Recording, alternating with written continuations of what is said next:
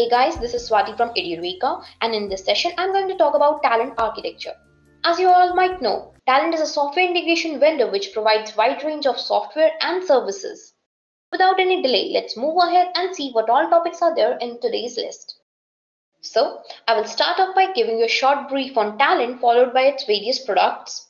Then, we will tear up the Talend Open Studio to see its internal architecture which makes Talend efficient yet user-friendly.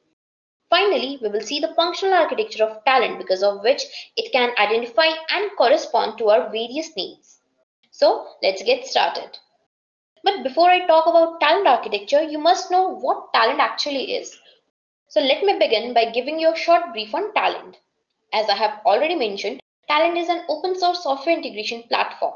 According to the Gartner Magic Quadrant, Talend is considered to be a global leader in big data and cloud integration solutions. It provides various software and services for big data, cloud integration, data management, and many more. Not only this, the current version of Talend can process the data up to seven times faster, and that too in the one fifth of the original cost as compared to the previous versions. On top of this, Talend tools act as code generator. That is, when you create a job or a business model at its GUI at the backend, Talend automatically converts all the underlying programs in Java. And the best part about Talend is that all its products are considered to be future proof. By future proof, I mean Talend is comprised of everything that you might need today as well as in future to meet the marketing requirements. So it's very less likely to go out of the market anytime soon. And because of this, more and more companies are using Talend nowadays. And as a result, Talend holds up to 19.3% of total market share. Since its origin in 2006 until date, it has launched a wide range of products. Let's take a look at some of its main products. So let's begin by checking out the list of its enterprise products. The enterprise products include Talend Tool for Big Data, Data Integration, Data Preparation, and Cloud Integration. As they are all licensed, you need to buy them before you can download or use them. Moving on, let's see its open sourced products which are more popularly known as Talend Open Studios. There are various Talend open studios available like for big data, data integration, data preparation, metadata, data quality and ESB. Finally, let's see the platforms availed by Talend. So, Talend provide platforms for big data, real-time big data, data preparation, MDM, data management, cloud integration, data services, metadata manager. Among all these products, Talend Open Studios are most popularly used. The reason behind they are free of cost and anyone can download and start using it right away. Moreover, if you like the product, you can go ahead and buy its enterprise version, which will obviously come with some of the additional features as compared to the open sourced version. Now that you have the basic idea of what Talend is and what are the various products available by Talend, let's now take a look at the internal architecture of the Talend Open Studios, which are most commonly used.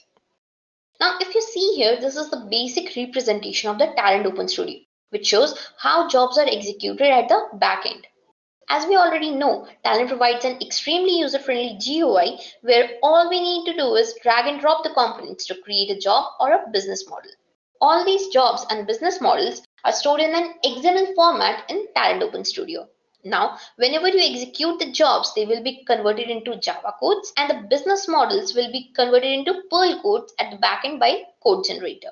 I hope this gives you a better understanding of Talend Open Studio. So now let's look at the bigger picture to check out its functional architecture. Talend's functional architecture enables it to identify the various functions and then interact and correspond to the different IT needs.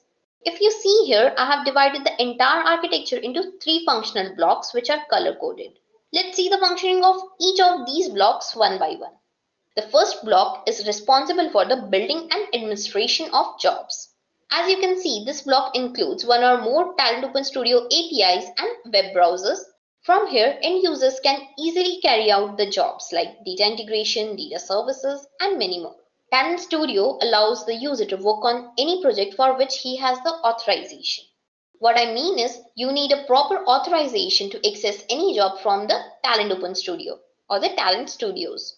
Also, the end users can connect to a remotely based administration center using a secured HTTP protocol from a web browser.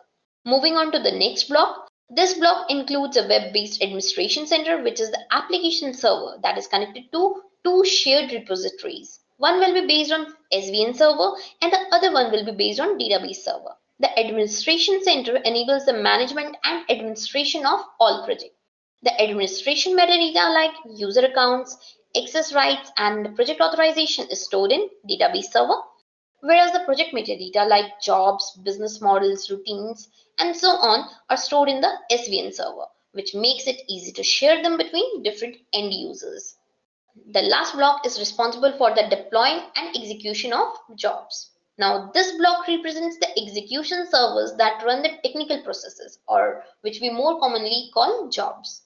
One or more job servers can be deployed inside your information system. They run the jobs according to the scheduled time or date or the events that are set inside the Talend Administration Center web application.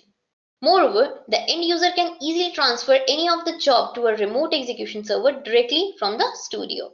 So this is how a job is executed in Talend. So with this, we come to the end of the session on Talend architecture. Hope it was informative Thank you and have a nice day. I hope you have enjoyed listening to this video. Please be kind enough to like it and you can comment any of your doubts and queries and we will reply them at the earliest. Do look out for more videos in our playlist and subscribe to Edureka channel to learn more. Happy learning!